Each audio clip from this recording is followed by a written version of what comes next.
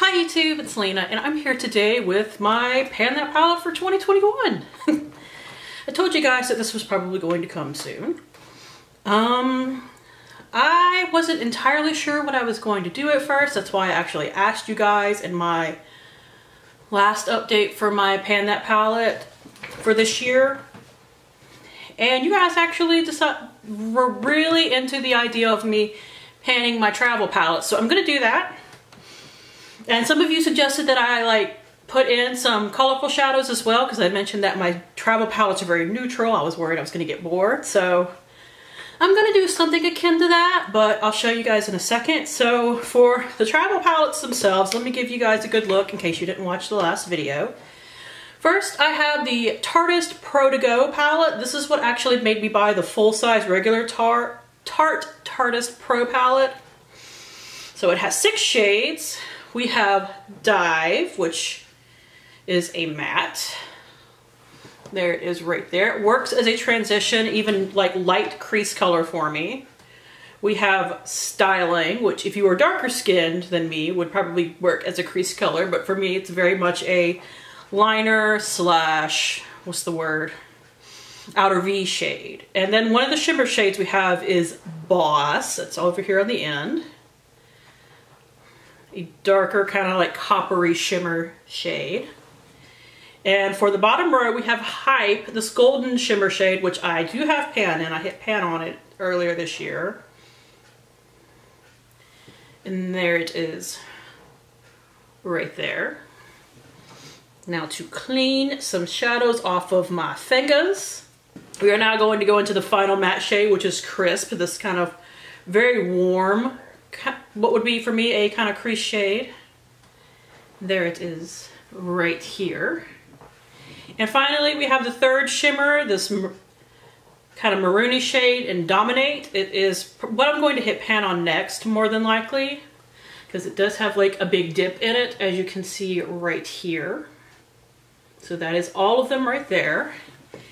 And the other palette I have, which is going to be not a challenge, but kind of a challenge, at least how I'm going to try and do it, is the Sleek palette. It is When the Sun Goes Down palette. It is a just little mini palette. I got this in a Tarte Beauty box at some point. So here are the 12 shades that it has, but they're all really small and I'm sure these have names, but I don't know them. So let me swatch out everything. So this row is right here. And this is the, what is looks to you, top row, except for this shade right here because it will not show up on my skin. It's just a like neutral, uh, like eye primer setting shade for me, just like a neutral cream shade. So for me to finish that one without, you know, getting overwhelmed by it, I have to finish a shadow a month. and that sounds insane. So I have to finish a shadow a month out of this tiny thing. And I should probably try to aim to finish a shadow every two months out of here, although I don't necessarily think that will be the case. I will probably finish, I'm sure I can finish this one in two months, but after that, I'm probably going to be finishing most of them towards the end of the year, so I'm gonna, I am gonna aim to finish a shadow a month out of here. These are not very deep and they're very like tiny pans. So I think it will be possible to finish a shade a month out of here. I just have to, you know, wear makeup, which has actually been kind of hard this year. So I do want to set some goals for January. I would like for my Tarte palette to hit actually hit pan and dominate right here. And for the Sleek palette, I'm going to aim to finish the shade right here. Like I said, I don't, and I'm sure these have names, I don't know them. Sleek usually does like a little insert to show all the, you know, shadow names, not palette names. I know the name of the palette.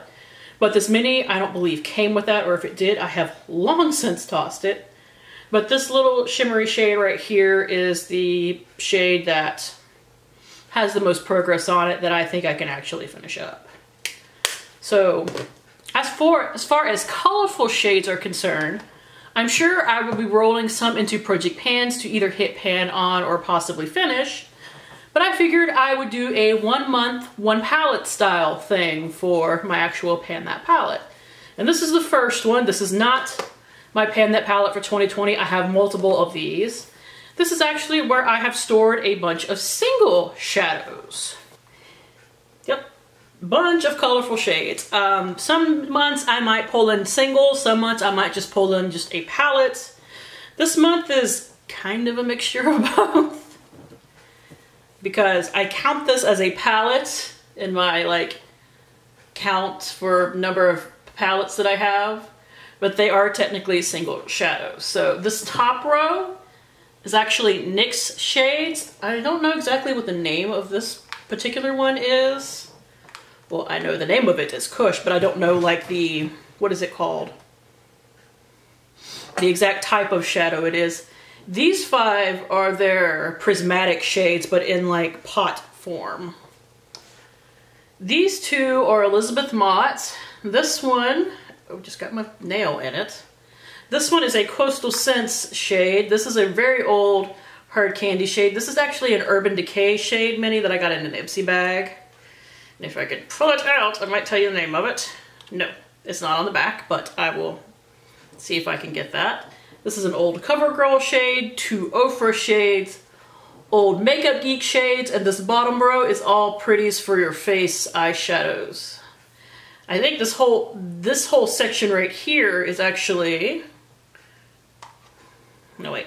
It's the ones in the middle that are all from the, what's it called? Hocus Pocus collection. So from here to here is Hocus Pocus shades. Yeah, this is a different one. And I knew this one was, but... I don't expect to hit pan on any of these. Most of these are very lightly used, so... But I'm not aiming to necessarily hit pan on these. I just want to get usage out of them and hopefully the, rotating the more colorful shades of my collection will keep me from getting bored with these. I would like to insert makeup looks that I've done and to kind of combine the two of them. Let's hope I remember to take pictures. So that is it. Thank you guys for tuning in. As always, I do really appreciate it, and hopefully I will see you later. Bye!